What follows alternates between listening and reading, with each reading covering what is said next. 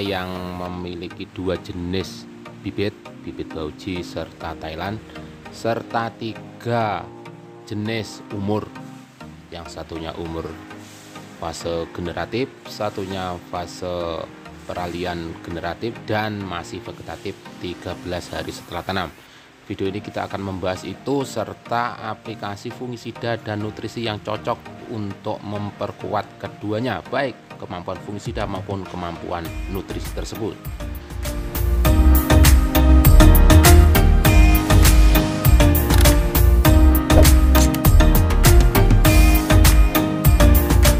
Assalamualaikum warahmatullahi wabarakatuh. Halo kok kembali tadi kita habis menyemprot ini.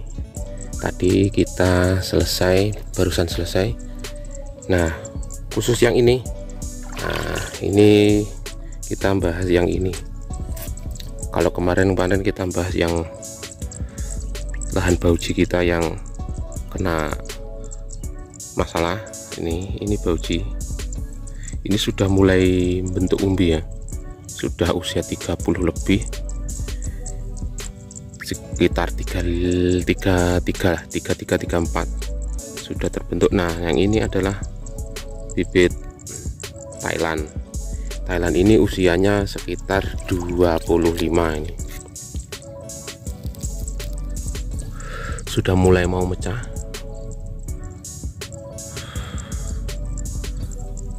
Kondisi daunnya seperti ini. Ada pucuk kuningnya sedikit di pucuk itu. Nah karena beberapa kali aplikasi yang sudah seperti di video sebelumnya kita beberapa kali mengaplikasikan fungisida berbahan propiconazole dan prokloras merek remazol itu. Fungsinya untuk mengatasi layu fusarium. Nah itu ada efek pucuk kuning kuning-kuning seperti ini. Nah tapi tidak masalah. Namanya bawang merah kalau tidak pucuk kuning ya bukan bawang merah mesti akan mengalami yang namanya kita tanam. Ini kalau kakak Bayu mengalami hal seperti ini jangan tidak usah khawatir karena ini bisa kita uh, selesaikan. Dengan apa? Kita bisa masukkan asam salisilat nanti tanaman itu akan pulih dengan sendirinya yang namanya pucuk kuning. Entah pucuk kuning akibat aplikasi e, pestisida maupun pucuk kuning akibat pH yang rendah itu bisa diselesaikan dengan e, pemberian asam salisilat. Itu yang terpenting. Asam salisilat ini mampu memperbaiki dinding sel tanaman sehingga nanti akan pulih serta untuk memperkuat daya tahan tanaman. Karena di dalam asam salisilat ini mampu menstimulus yang namanya daya tahan alami tanaman. Sehingga tanaman itu akan kuat akibat eh, kuat dari serangan hama maupun penyakit serta kondisi tanah yang eh, tidak bersahabat ataupun cuaca yang ekstrim seperti ini di musim penghujan. Nah ini terus kalaupun yang ini nah ini adalah yang masih muda ini paling umur sekitar 12an 13 ya. Sekitar itu. Ini susulan yang paling RDW terakhir tanamnya. Tidak banyak sebenarnya. Ini khusus ini tidak dimulsa karena oh, mulsanya habis. Ada sebenarnya. Cuma eh kelamaan langsung aja ya tancapkan. Juga bisa untuk perbandingan yang dimulsa sama yang tidak dimulsa itu ada bedanya enggak nanti bisa kita lihat dari hasil tanaman ini. Ini kondisinya tumbuh subur. Kemarin itu usia lima hari sudah eh empat hari brol seperti ini kondisinya. Tidak terlalu tinggi ya sekitar 25 cm rata-rata 25 cm nah ini tanaman ya ngikut aja ngikut. Kadang kalau kita nyemprot yang sini sebagian obatnya juga kena. Bahkan remazol pun masuk ini padahal sebenarnya tidak ada yang bermasalah. Akhirnya ya itu pucuk kuning dikit-dikit ini nah tidak masalah. Nah ini sudah saya aplikasikan pupuk yang saya cairkan. Kemarin itu saya masukkan KNO merah sama MKP nah terlihat dari aplikasi ini daunnya menjadi hijau. Termasuk hijau ya ini terus juga kuat kokoh daunnya kaku. Tidak ngelintruk nah, ini kaku ini.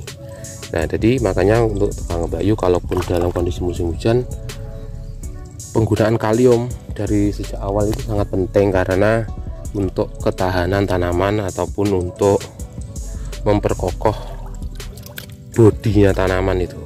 Sehingga penyakit sama hama itu akan relatif sulit untuk masuk. Jadi kondisi musim hujan intinya nitratnya kita kurangi nitrogennya kita kurangi kita pasok tapi tidak usah terlalu banyak kuat perkuat di fosfat sama kalium. Serta jangan lupa dolomit ataupun kapur bangunan dan yang mengandung unsur kalsium harus kita berikan. Ini contohnya saya sudah tabur beberapa hari yang lalu. Ini sudah larut karena akibat hujan sehingga sudah tidak terlalu terlihat. Ini sisa-sisanya ada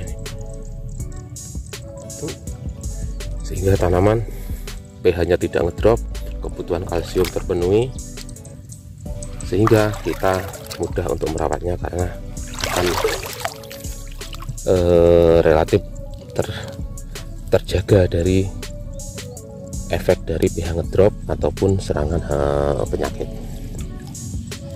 Nah ini seperti ini tak airnya lebih dari satu dengkul nih ya. nah itu dengkul. Nah dalam sekali. Nah seperti ini. Jadi di musim penghujan ini perkuat tanaman sehatkan tanaman Insya Allah nanti bisa finish sampai panen. Nah kalau yang ini baujinya sudah mulai bentuk umbi itu. Nah kondisi daunnya sudah mulai kokoh. Tidak lemes ngelentruk sekaya yang beberapa saat yang lalu.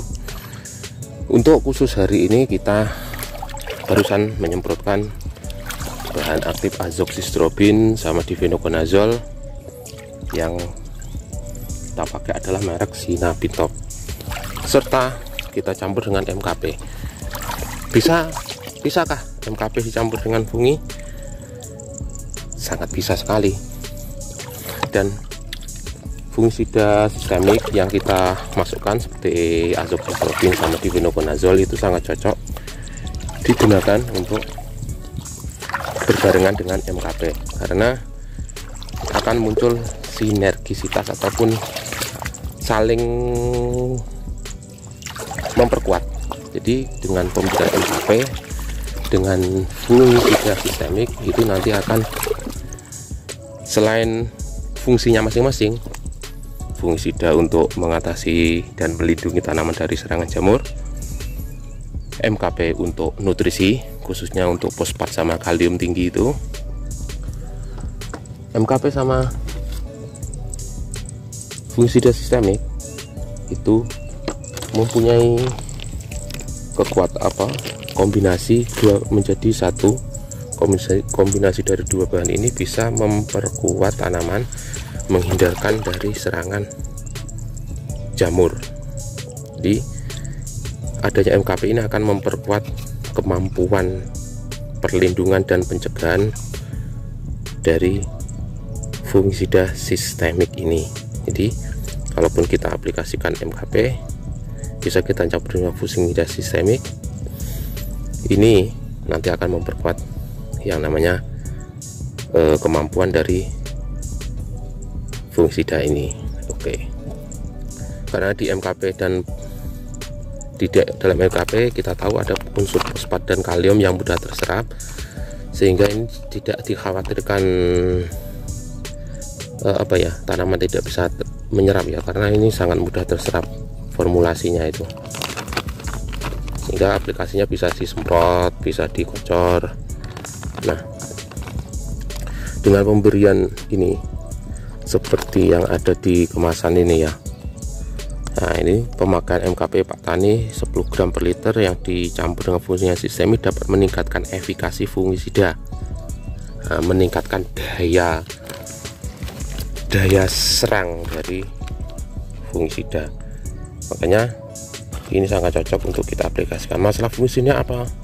Terserah. Yang penting fungisida sistemik. Bisa kita pakai yang berbahan aktif difenokonazol bisa pakai yang azoxystrobin bisa pakai yang sistemik-sistemik yang lain. Nah kalau yang sistemik itu bisa kita dari golongan triazol golongan strobilurin strobilurin itu seperti ya azoxystrobin trifloxystrobin dan lain sebagainya. Yang segolongan itu banyak. Ataupun juga yang karbendazim itu juga sistemik. Itu bisa kita campur dengan MKP sehingga nanti kekuatannya bisa berlipat. Nah semoga dengan aplikasi ini bisa memaksimalkan tanaman kita menyehatkan dan membuat tanaman bisa tumbuh subur hingga panen.